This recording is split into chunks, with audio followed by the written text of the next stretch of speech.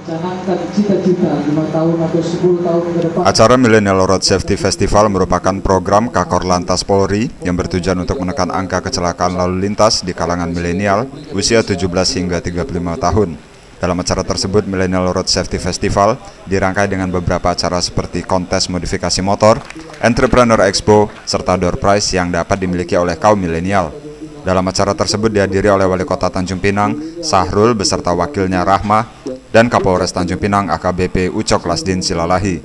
Untuk menunjang acara Millennial Road Safety Festival, antara lain pilar manajemen keselamatan, pilar jalan keselamatan, pilar kendaraan berkeselamatan, pilar perilaku pengguna jalan berkeselamatan, dan pilar penanganan pasca keselamatan. Kami menyampaikan ada lima pilar yang penting untuk menunjang program ini. Yang pertama adalah manajemen keselamatan, yang kedua jalan yang berkeselamatan, ketiga kendaraan yang berkeselamatan, yang keempat perilaku pengguna jalan yang berkeselamatan.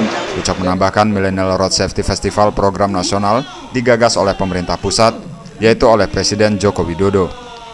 Dari Tanjung Pinang, Kepulauan Riau, Muhammad Holul melaporkan.